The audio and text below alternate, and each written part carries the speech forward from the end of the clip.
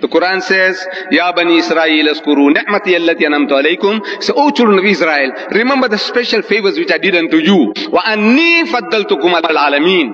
That I preferred you above all the peoples of the earth for my special favors. He chose you. You say you are a chosen people. I say, yes, you are a chosen people. You say it's in the Bible. I say it's also in the Quran. You are a chosen people. Chosen for what? Because of your race? Because of your language? Because of your riches? No. You were chosen for a purpose. And that purpose is spelled out for you in, in, in your Torah, in the Bible, in the second book of the Bible called Exodus. Moses is made to say, Exodus chapter 19, verse 5 and 6. He says, Moses, now therefore, if ye will obey my voice, God is speaking through Moses, if you Jews will obey my voice and keep my covenant, then ye shall be a peculiar treasure unto me, something special. If you listen to God's voice, listen to His commandments, become right with Him, He says, you will be a peculiar treasure unto me above all people. Quran says, وَأَنِّي فَضَّلْتُكُمْ عَلَى الْعَالَمِينَ That I preferred you above all the peoples of the earth for my special favors. For all the earth is mine, says the Lord. And ye shall be unto me a kingdom of priests and a holy nation. That's your job. You are supposed to be a kingdom of priests, guide mankind to the knowledge of God. That, that was the role that why God chose you.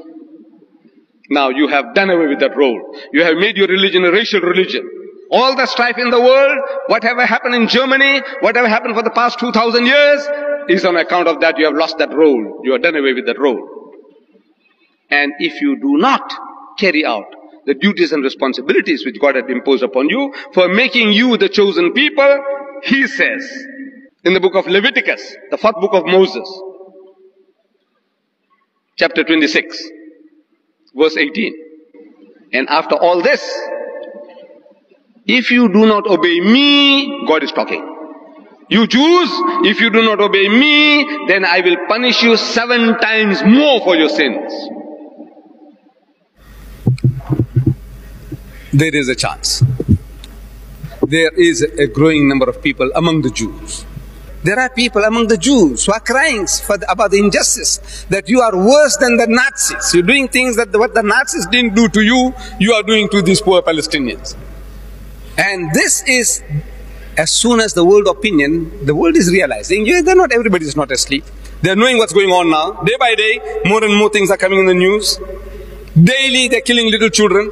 Little, little children are being killed daily. This is the fate in the Times Magazine, Times Magazine, the weekly news magazine, international. We read there the Palestinian question. So what manner of man would retaliate against a stone throwing child by shooting him in the back as he ran away. What kind of people are these? Who would shoot a stone throwing child by shooting him in the back as he ran away? What manner of government would retaliate by fining already poverty stricken parents a thousand dollars, demolishing their home and confiscating their meager possessions? What manner of people are these arrogant settlers who think they have a God given right to commit such atrocities and still cry for more? What manner of people are we that we permit our government to give away billions of the American taxpayers' dollars to Israel every year, enabling it to continue to subjugate the Palestinian people. What manner of people are we, the Americans? This man is an American, Alice F. Smith from Santa Barbara, California, in the Times Magazine, February 20th, 1989.